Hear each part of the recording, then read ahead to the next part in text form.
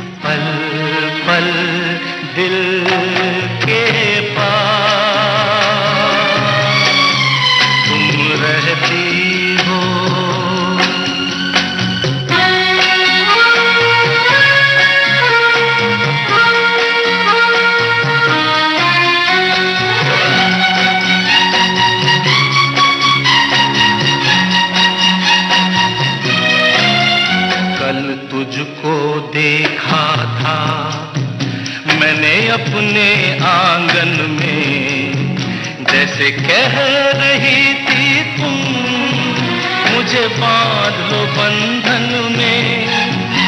ये कैसा रिश्ता है?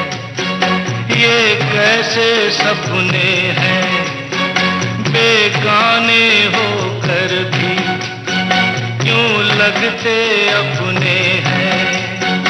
मैं सोच में रहता हूँ डर डर के कहता हूँ पल पल दिल के पास।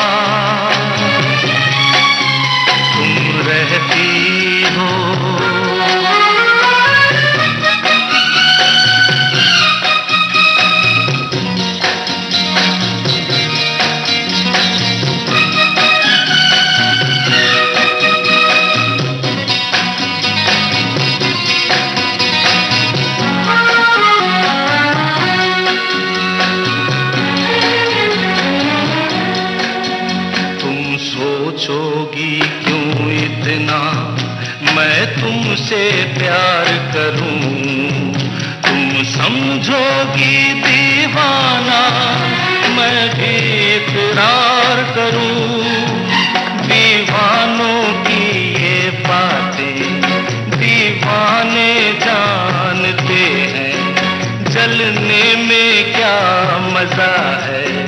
परवाने जानते हैं। तुम यूँ ही जलाते रहना।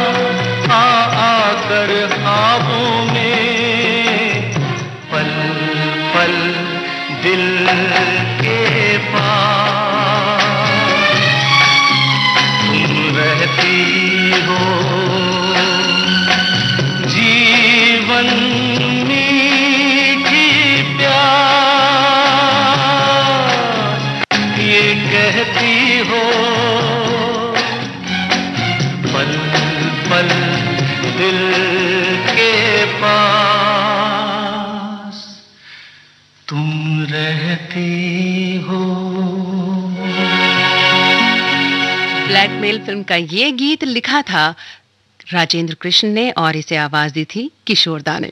वैसे आपको एक शेर सुनाती हूँ। जब जब तुम्हें भुलाया, तुम और याद आए। जब जब तुम्हें भुलाया, तुम और याद आए। जाते नहीं है दिल से, अब तक तुम्हारे साए। पता है आपको, ये शेर किसने लिखा है? इसे लिखा है राजेंद्र कृष्ण ने। ऐसे बहुत ही कम शायर रहे हैं जिन्हें शायरी की महफिलों में तो दाद मिली ही साथ ही साथ सिनेमा के साथ भी उनका जो सफ़र रहा वो बेहद सुहाना रहा। ऐसे ही मशहूर गीतकार रहे राजेंद्र कृष्ण जिन्हें आज हम याद कर रहे हैं कलाकार बेमिसाल में और आज उन्हीं के लिखे गीत हम आपको सुनाने वाले हैं। प्यार सिखा दूँ? सिखला दो ना। आओ तुम्हें मैं प्यार सिखा दूँ। सिखला दो ना प्रेम नगर की डगर दिखा दूँ। दिखला दो ना दिल की धड़कन क्या होती है ये अनजाना राज बता दूँ। बतला दो आओ तुम्हें मैं प्यार सिखा दूँ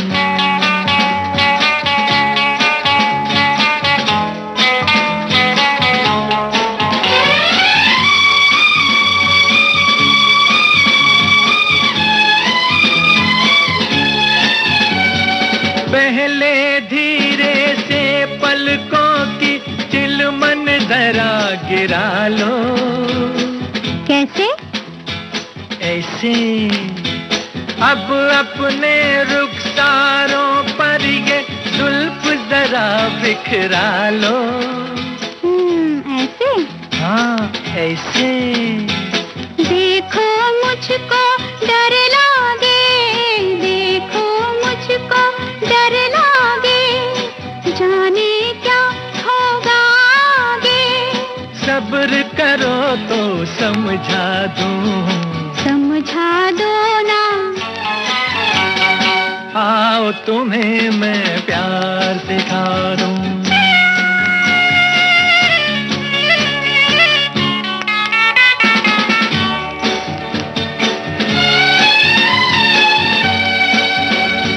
छोड़ के बेगानापन, अब तुम मेरे पास आ जाओ।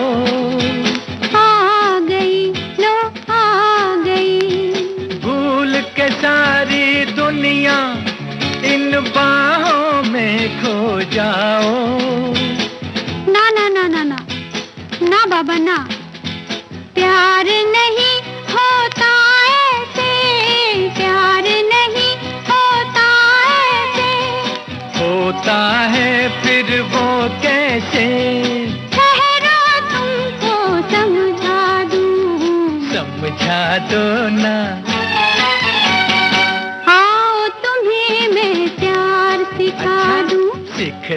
दो ना प्रेम नगर की डगर दिखा दूँ। दिखला दो ना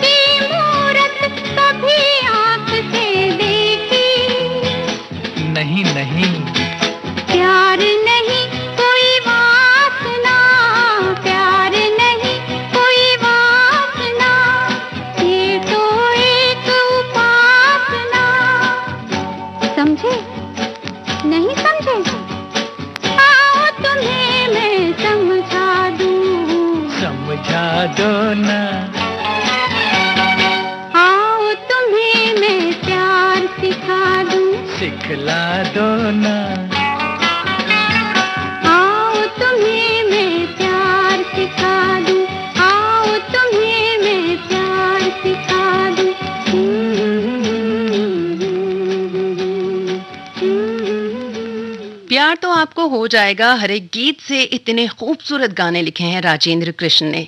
गीतकार राजेंद्र कृष्ण का जन्म 6 जून 1919 गुजरात के जलालपुर, जट्टन गाँव में हुआ था। आठवीं क्लास में पढ़ते पढ़ते ही उन्हें कविताओं से बेहद मोहब्बत हो गई। उन्हें निराला पंत और फिराक गोरखपुरी की रचनाओं से बहुत प्रेम था। वे अक्सर अपने स्कूल की किताबों में छिपाकर फिराक गोरख, गोरखपुरी साहब की शायरी पढ़ा करते थे। और खुद भी जब भी कोई ऐसा भाव मन में आता तो उस पर तुरंत कविता लिख देते।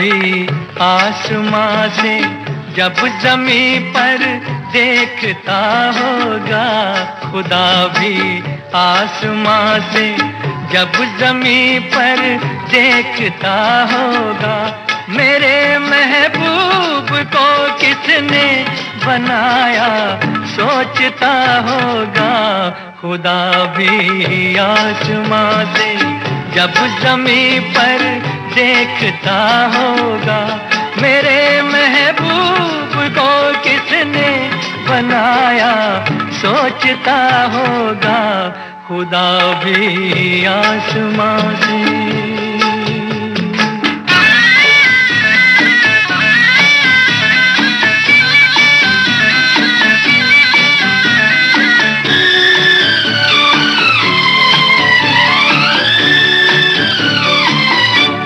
मुसविर खुद परेशान है कि ये तस्वीर किसकी है? बनोगी जिसकी तुम ऐसी हँसी तकदीर किसकी है? कभी वो जल रहा होगा, कभी खुश हो रहा होगा। खुदा भी आसमां से जब जमी पर देखता होगा, मेरे महबूब को किसने बनाया? सोचता होगा, खुदा भी आसमां से।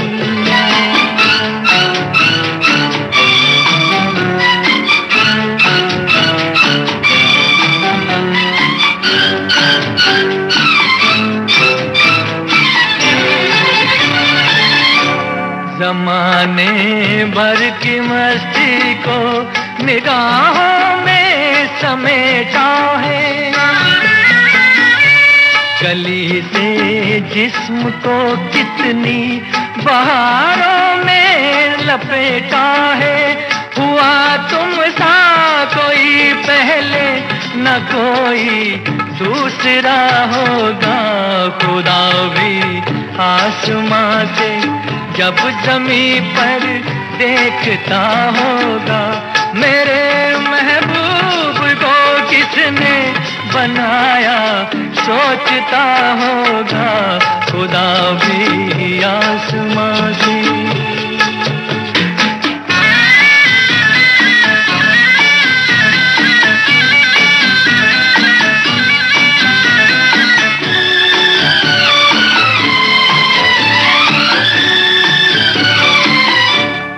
फरिश्ते भी यहाँ रातों को आकर घूमते होंगे। जहाँ रखती हो तुम पाओ जगे वो चूमते होंगे। किसी के दिल पे क्या गुजरी, ये वो ही जानता होगा। खुदा भी आसमां से जब जमी पर देखता होगा, मेरे महबूब को किसने बनाया? सोचता होगा, खुदा भी आसमां से। दौर कुछ खास है। चारों ओर हो रहा विकास है। आज़ादी के अमृत काल में हमें समय नहीं गंवाना है। अगले 25 वर्षों में भारत को विकसित राष्ट्र बनाना है। तो आप भी समय न गंवाएँ। वे कंपनी, कॉर्पोरेट्स या फिर सैलरीड एम्प्लॉयज़, जिनकी टीडीएस टीसीएस कटने के बाद भी कर देयता दस हज़ार रूपए या उससे अधिक है, वो अपने एडवांस टैक्स की कुल अग्रिम राशि का 15 प्रतिशत, पंद्रह जून 2023 तक अवश्य जमा कराएँ। क्योंकि आपके टैक्स से ही देश की प्रगति को मिलती है गति। प्रत्येक आयकर दाता एक राष्ट्र निर्माता। आयुष्मान भारत पीएम जय योजना के अंतर्गत करोड़ों गरीब परिवारों ने पाँच लाख रुपए तक का मुफ़्त उपचार का लाभ उठाया। गरीब की सेवा करने का मैं समझता हूँ उससे बड़ा कोई कार्यक्रम नहीं हो सकता है अभियान नहीं हो सकता है योजना नहीं हो सकता। पीएम जय योजना में पात्रता जानने के लिए एक चार पाँच पाँच पाँच पर कॉल करें। सुंदर सा वो माँ का लाडला। सुबह सुबह ग्लास भर दूध पीकर, दूध से बनी मूछों को हथेलियों से पोंछता, पीठ पर किताबों से भरा बैग ला दे रोज दौड़कर स्कूल की बस पर चढ़ जाता माँ को हाथ हिलाते। पर आज सुबह वो क्यों चल रहा? बोझल कदमों से बस में बैठे उसके दोस्त हंस रहे, मानो चिढ़ा रहे उसे, और वो बुझा बुझा सा जा रहा सबसे नज़रें चुराते। माँ ने पूछा तो पता चला, साइबर बुलिंग करके बच्चे को परेशान किया जा रहा है। स्कूल की पढ़ाई के साथ बच्चों को सिखाएँ, सुरक्षा के ज़रूरी पाठ। उसे बताएँ कि अगर कोई साइबर बुलिंग या यौन शोषण या किसी अन्य तरीके से परेशान करे तो फ़ौरन टीचर तथा माता पिता को इसकी जानकारी दें। दिल्ली पुलिस से 112 पर संपर्क करें। चाइल्ड सेफ्टी के लिए दिल्ली पुलिस है आपके साथ। बच्चों की सुरक्षा है हमारा कर्तव्य। Bye.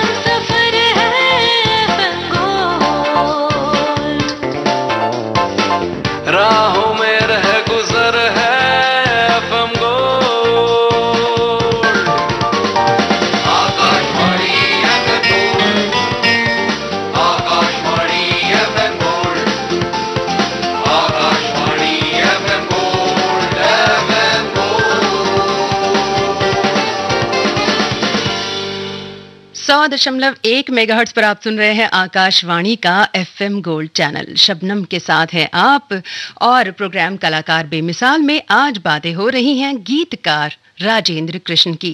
राजेंद्र कृष्ण को पढ़ाई लिखाई का शौक शुरुआत से ही था और वे इस काम में बहुत अच्छे भी थे। पढ़ाई पूरी करने के बाद अपने बड़े भाई के पास वे शिमला रहने लगे। वहीं बिजली विभाग में उनकी हेड क्लर्क की नौकरी लग गई। वे नौकरी के साथ कवि सम्मेलन और मुशायरों में भाग लेने लगे। ऐसे ही एक मुशायरे में उनके जीवन की राह बदल गई।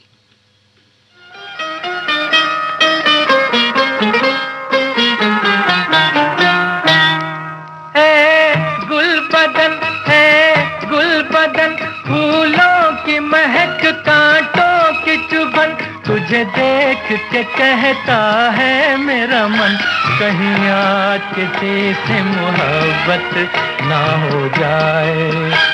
कहीं आज किसी से मोहब्बत ना हो जाए।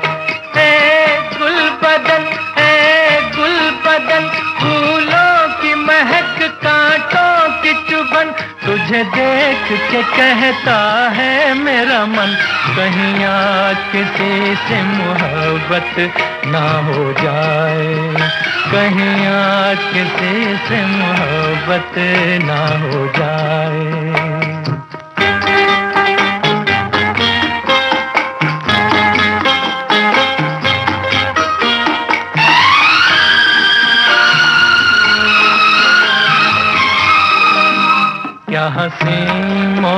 पर आ गई जिंदगानी। के हकीकत न बन जाए मेरी कहानी। क्या हँसी मोड़ पर आ गई जिंदगानी। के हकीकत न बन जाए मेरी कहानी। जब आहें भरे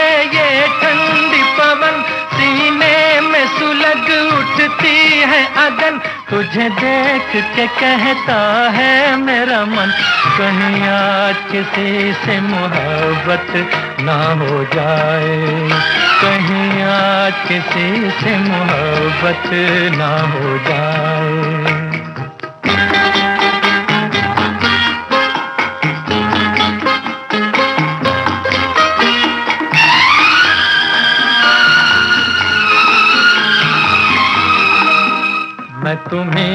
से यूँ आँखें मिलाता चला हूँ कि तुम्हें तो मैं तुमसे चुराता चला हूँ। मैं तुम्हें से यूँ आँखें मिलाता चला हूँ कि तुम्हें तो मैं तुमसे चुराता चला हूँ। मत पूछ मेरा दीवानापन आकाश से ऊँची दिल की उड़न तुझे देख के कहता है मेरा मन, कहीं आज किसी से मोहब्बत ना हो जाए। कहीं आज किसी से मोहब्बत ना हो जाए। ए गुल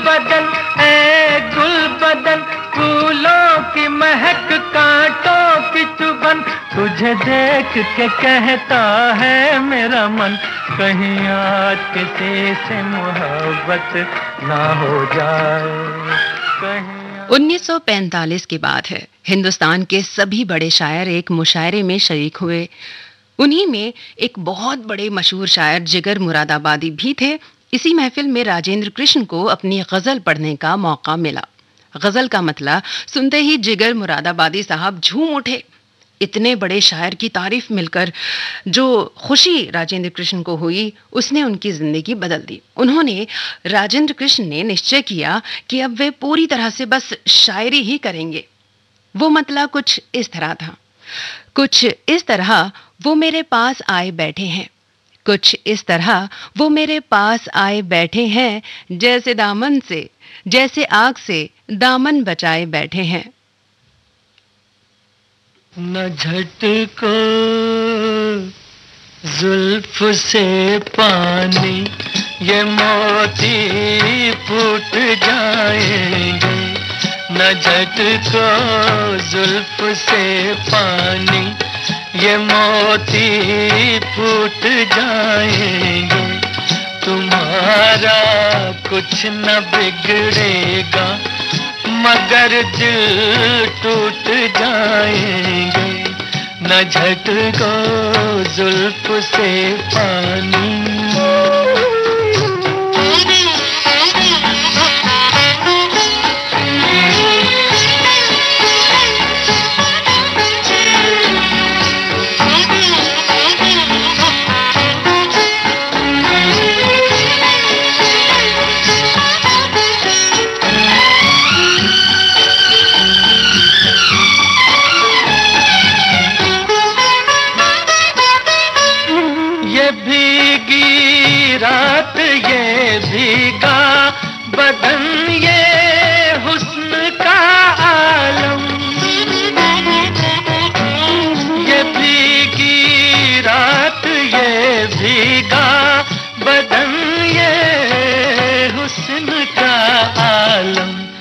ये सब अंदाज मिलकर दो जहाँ को लूट जाएँगे। तुम्हारा कुछ न बिगड़ेगा, मगर दिल टूट जाएँगे। न झटको जुल्फ से पानी।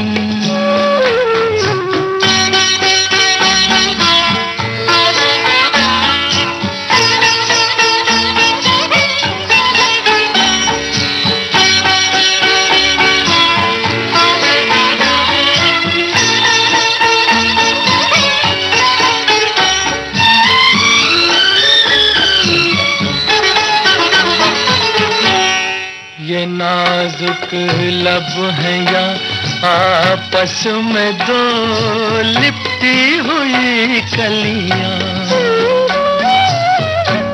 ये नाजुक लब है या आपस में दो लिपटी हुई कलियाँ। जरा इनको अलग कर दो, तरन्नुम फूट जाएँगे। तुम्हारा कुछ न बिगड़ेगा मगर दिल टूट जाएँगे। न झटको जुल्फ से पानी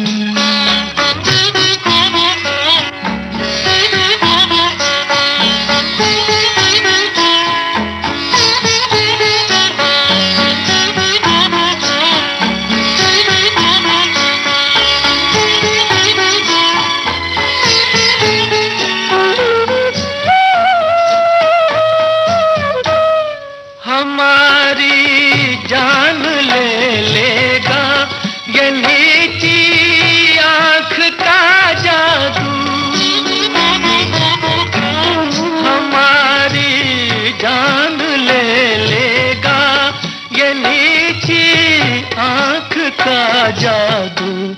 चलो अच्छा हुआ मर कर। जहाँ से छूट जाएँगे, तुम्हारा कुछ न बिगड़ेगा। मगर दिल टूट जाएँगे।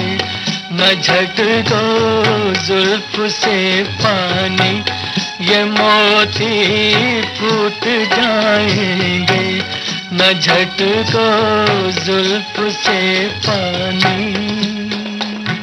कहते हैं कि ये गीत राजेंद्र कृष्ण ने अपनी पत्नी को देखकर लिखा था और आज इतने सारे लोग अपनी पत्नियों को ये गीत सुनाते होंगे। बेहद रोमांटिक गाना और इसे आवाज़ दी थी मोहम्मद रफी साहब ने। राजेंद्र कृष्ण की बात हम कर रहे हैं। बहुत ही मशहूर शायर और गीतकार। राजेंद्र कृष्ण ने क्लर्क वाली नौकरी छोड़ दी। वे अपने एक साथी के साथ मुंबई आ गए और उनके साथी को फ़िल्म निर्माण का बहुत शौक था। उन्होंने अपने पैसे से फ़िल्म बनाई, लेकिन फ़िल्म बुरी तरह से असफल रही। इससे निराश होकर राजेंद्र कृष्ण के साथ ही शिमला वापस चले गए।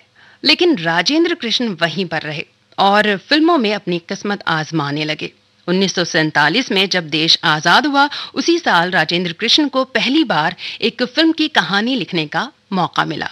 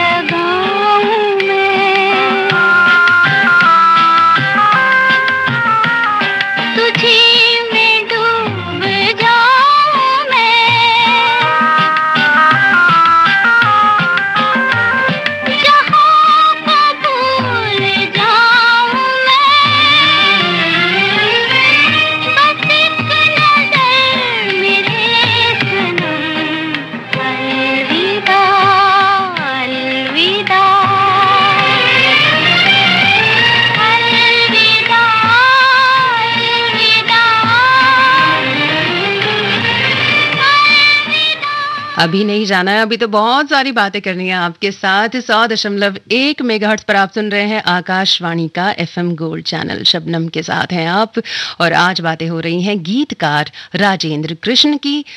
फ़िल्म की कहानी लिखकर राजेंद्र कृष्ण सिनेमा के साथ अपनी पारी की शुरुआत कर चुके थे। उस फ़िल्म का नाम था जनता। इसके बाद उन्हें किशोर शर्मा की एक फ़िल्म के गीत लिखने का मौका मिला। उन्हें पहली बार सफलता मिली महात्मा गांधी की हत्या पर लिखे एक गीत की वजह से, जिसे मोहम्मद रफी ने आवाज़ दी थी। ये गीत देश भर में बहुत चर्चित रहा, बहुत फ़ेमस रहा, और इसके बाद तो राजेंद्र कृष्ण की किस्मत की गाड़ी आगे बढ़ती गई बढ़ती गई। एक के बाद एक लोकप्रिय गीत वे लिखते गए। एक गाना मैं आपको सुनाती हूँ, जो पहली बार कमर्शियल हिट था फ़िल्म से जो गाना था, ये मैं आपको सुनाती हूँ। Thank you.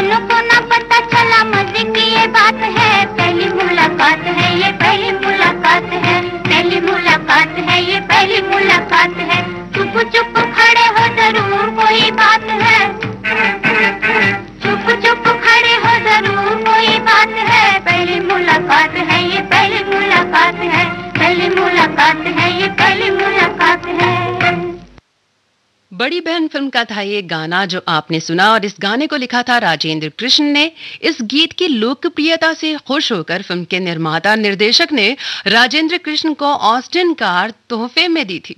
फ़िल्म इंडस्ट्री में राजेंद्र कृष्ण न केवल अपनी सशक्त पहचान बना रहे थे, बल्कि उनके व्यवहार की वजह से, अच्छे व्यवहार की वजह से उनके दोस्तों की संख्या भी लगातार बढ़ रही थी। महमूद साहब, मोहम्मद रफी और सुनील दत्त उनके सबसे करीबी मित्र रहे। इसके अलावा दिलीप कुमार साहब के साथ भी उनकी गहरी दोस्ती रही और उन्होंने साथ मिलकर शानदार काम किया। गोपी फ़िल्म आपको याद होगी, इस फ़िल्म में हिंदी सिनेमा के सबसे बेहतरीन भजन आपने सुने होंगे। उन्हीं में से एक भजन मैं आपको सुनाने वाली हूँ। ये ऐसे भजन हैं जो दशकों बाद भी, आज भी आप सुनते हैं और सुकून पाते हैं। इस फ़िल्म के लिए वैसे मैं आपको बता दूँ कि फ़िल्म फेयर में नॉमिनेशन मिला था राजेंद्र कृष्ण को। सुख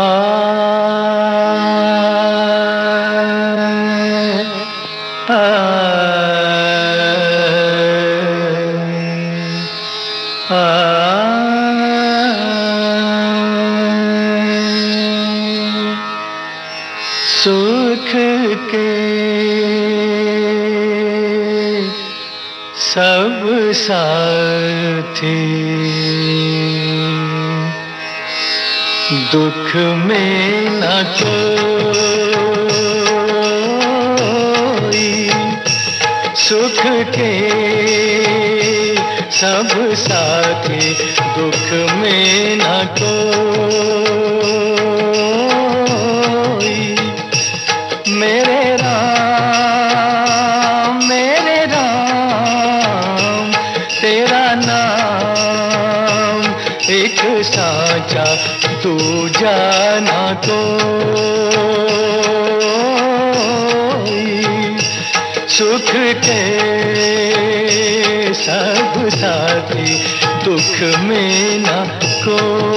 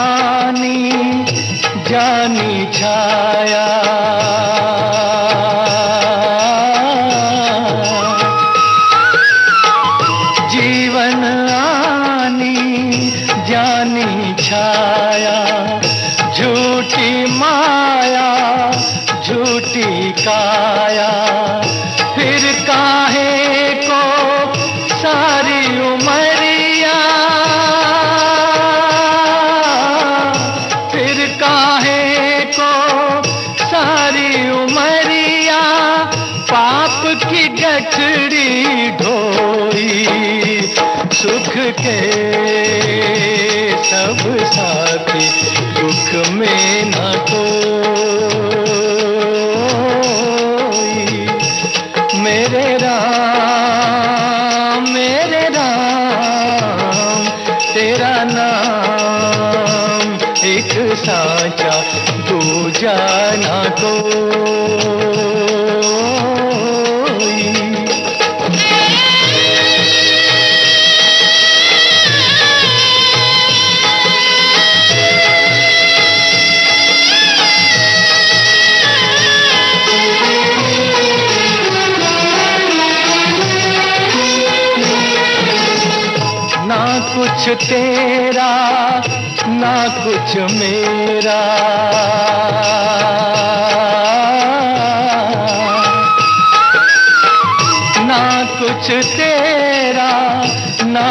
में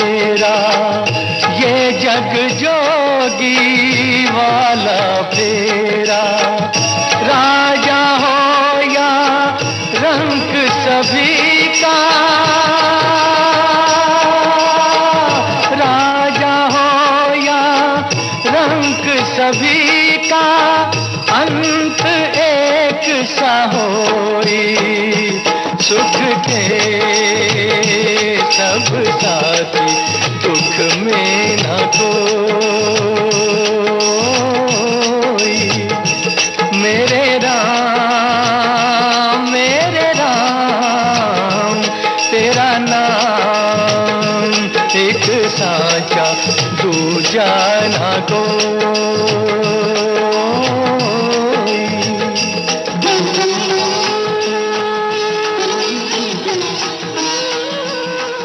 अभिनेता और फिल्मकार महमूद के साथ भी राजेंद्र कृष्ण का रिश्ता बहुत ही खास रहा, बहुत ही गहरा रहा, कामयाब रहा।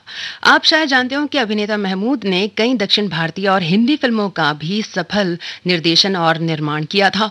उन्होंने दक्षिण भारतीय फ़िल्मों में राजेंद्र कृष्ण को जोड़ दिया और कई तमिल फ़िल्मों के गीत और डायलॉग उनसे लिखवाए। एक समय ऐसा भी आया जब राजेंद्र कृष्ण हिंदी और तमिल सिनेमा के सबसे महँगे गीतकार लेखक बन गए। अमिताभ बच्चन और राजेश खन्ना के साथ भी उनका रिश्ता बहुत ही पारिवारिक था। कहा जाता है कि आसपास रहने वाले लोगों के लिए राजेंद्र कृष्ण का पड़ोस में रहना एक जादुई अनुभव था, क्योंकि बड़े बड़े सितारे उनके घर अक्सर देखे जाते थे। सत्तर के दशक में रेडियो और दूरदर्शन पर उनके गाने बहुत ज़्यादा सुनाए जाते थे, बहुत ज़्यादा दिखाए जाते थे। ला ला ला ला ला ला ला ला ला ला ला ला ला ला ला ला ला ला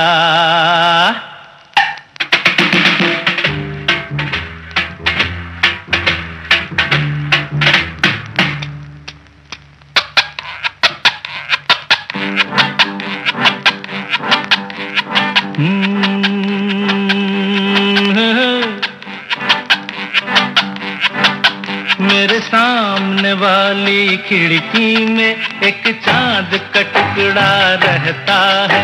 मेरे सामने वाली खिड़की में एक चाँद का टुकड़ा रहता है। अफसोस ये है कि वो हमसे कुछ उखड़ा उखड़ा रहता है। मेरे सामने वाली खिड़की में एक चाँद का टुकड़ा रहता है।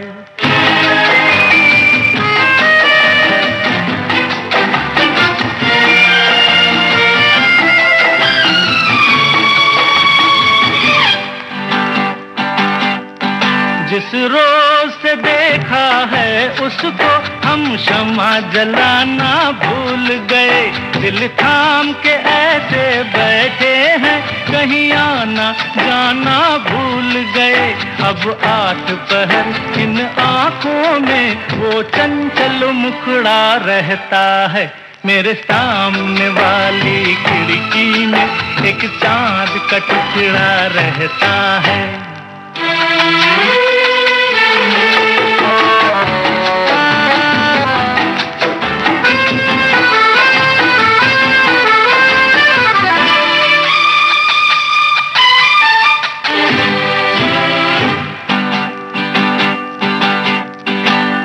बरसात भी आकर चली गई। बादल भी गरज कर बरस गए। बरसात भी आकर चली गई। बादल भी गरज कर बरस गए। पर उसकी झलक को हम है हुस्न के मालिक तरस गए। कब प्यास बुझेगी आँखों की, दिन रात ये दुखड़ा रहता है। मेरे सामने वाली खिड़की में एक चाँद का टुकड़ा रहता है। अफसोस ये है कि वो हमसे कुछ उखड़ा उखड़ा रहता है। मेरे सामने वाली खिड़की राजेंद्र कृष्ण एक अच्छे लेखक और गीतकार थे। उनके पास नाम, पैसा, शोहरत सब कुछ था। लेकिन अपनी कामयाबी पर उन्होंने कभी घमंड नहीं किया। कहा जाता है कि पैसे से उन्हें बिल्कुल भी प्रेम नहीं था। वे घर में टहलते हुए गीत लिखते। अक्सर दिल्ली के चांदनी चौक आते और दोस्तों के साथ छोले भटूरे और आलू पूड़ी खाते। वे एक सामान्य बनियान और लुंगी पहनकर रहते थे और बहुत ही साधारण जीवन जीते। जीवन के अंतिम पड़ाव तक उनका स्वभाव ऐसा ही रहा। काम को शिद्दत से करना, दिखावा प्रपंच और गुरूर से दूर रहना। आज कलाकार बेमिसाल उन्हें समर्पित।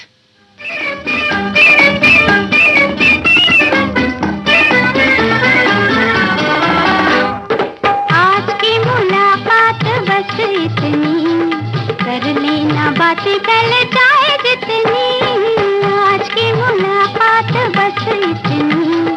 कर लेना बातें कल चाहे जितनी। अच्छी नहीं होती है जिद इतनी। देखो हमें तुमसे है प्रीत कितनी। आज की मुलाकात बस इतनी।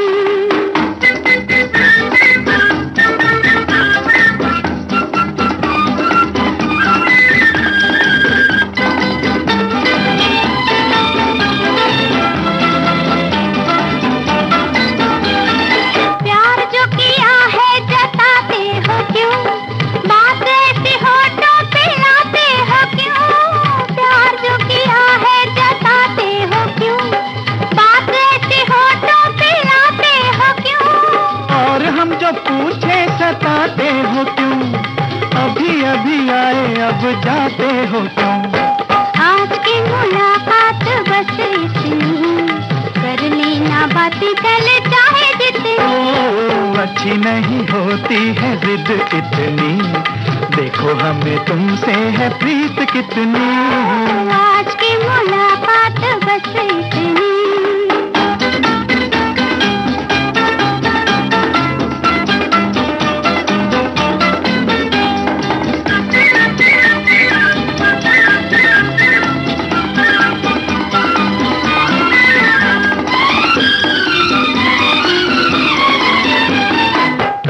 कभी ऐसे भी आया करो।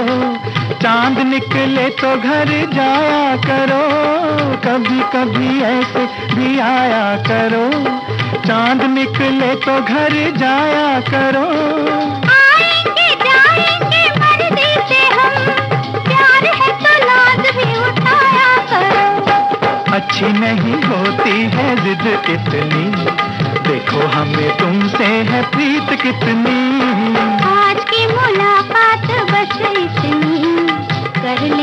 कल चाहे जितनी, आज की मुलाकात बस उम्मीद करती हूँ आज का प्रोग्राम आपको पसंद आया होगा, कलाकार बेमिसाल, लेकिन हमारी मुलाकात सिर्फ़ इतनी नहीं है। एक बजकर दस मिनट पर आपसे फिर मिलूँगी मैं घर आँगन में। फ़िलहाल तो आकाशवाणी एफएम गोल्ड पर वक्त हो चला है समय।